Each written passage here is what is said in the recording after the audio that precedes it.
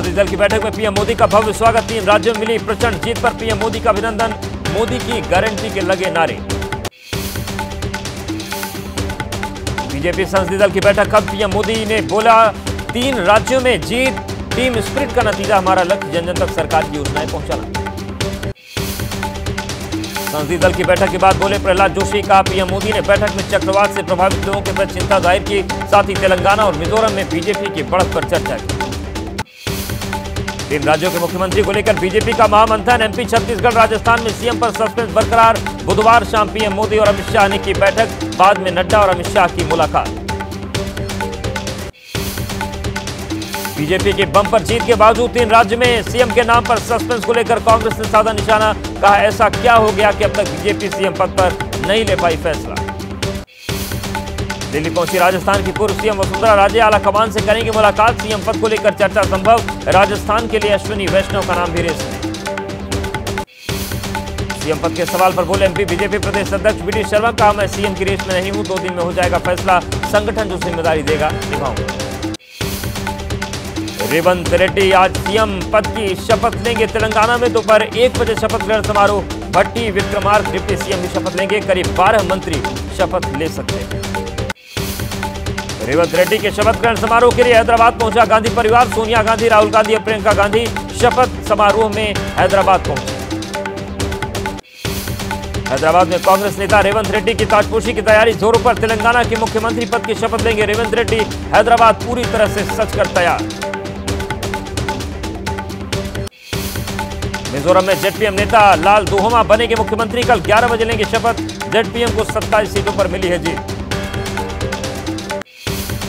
दिल्ली दौरे पर UP CM Yogi Adityanath केंद्रीय नेतृत्व से करेंगे मुलाकात। सूत्रों के मुताबिक मंत्रिमंडल विस्तार पर हो सकती है चर्चा। ममता बनर्जी के डांस पर कमेंट करके फंसे केंद्रीय मंत्री गिरिराज सिंह। टीएमसी ने कहा यह महिलाओं का अपमान गिरिराज ने सफ़ाई दी कहा मेरी बात को गलत तरीके से पेश किया गया। सीएम ममता के खिलाफ गिरिराज सिंह की टिप्पणी पर टीएमसी महिला सांसदों का विरोध प्रदर्शन। गांधी प्रतिमा के सामने जमकर नारेबाजी। केंद्रीय मंत्री गिरिराज सिंह के बयान पर बोली, टीएमसी सांसद महुआ मोहित्रा कहा उन्हें अपने बयान के लिए माफ़ी मांगनी चाहिए, लेकिन वो माफ़ी नहीं मांगी। शाह के नेहरू वाले बयान पर बोले, लालू यादव कहा अमित शाह को कोई जानकारी नहीं, पीओके और जम्मू कश्मीर में हो रहे हमलों के लिए शाह को ठहराए जिम्मेदार। गृह मंत्री अमित शाह के बाद जेडीयू सांसद सुनील कुमार पिंटू का बयान, कहा जवाहरलाल नेहरू से हमारे इतिहास में हुई गलतियाँ, इसलिए आज पीओके पर किसी और का कब्जा। आज राज्यसभा में पेश होगा जम्मू कश्मीर आरक्षण संशोधन विधेयक 2023 जम्मू और कश्मीर पुनर्गठन संशोधन विधेयक 2030 भी होगा पेश। अमित शाह राज्यसभा में पेश करेंगे बिल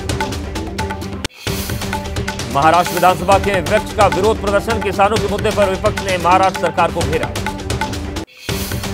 अशोक गहलोत पर मानहानि केस में राउजवेंदी कोर्ट आज सुनाएगा फैसला। गहलोत की तरफ़ से कार्रवाई पर रोक लगाने की मांग पर दायर हुई थी याचिका। वाराणसी के ज्ञान वापी विवाद से जुड़ी सभी पाँच याचिकाओं पर इलाहाबाद हाईकोर्ट में आज सुनवाई, एएसआई सर्वेक्षण और केस से जुड़े मामलों में सुनवाई।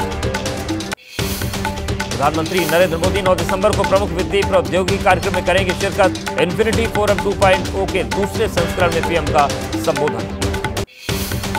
रक्षा मंत्री राजनाथ सिंह तमिलनाडु में बाढ़ के हालात का जायजा लेने के लिए रवाना हुए हवाई सर्वेक्षण के बाद राज्य सरकार से हालात पर चर्चा करेंगे। चक्रवात तूफ़ान मिचांग कमज़ोर पड़ने के बावजूद मचा रहा तबाही, तमिलनाडु और आंध्र प्रदेश में भारी बारिश से बाढ़ जैसे हालात। आपदा पीड़ितों के लिए देवदूत बनी सेना, चेन्नई में वायुसेना ने बाढ़ प्रभावित क्षेत्र में राहत सामग्री पहुंचाई। तमिलनाडु से चेन्नई में चक्रवाती तूफ़ान का असर पल्ली करनई में हुई भारी बारिश से सड़कें बनी तालाब, सड़कों पर फंसी नज़र आई गाड़ियाँ।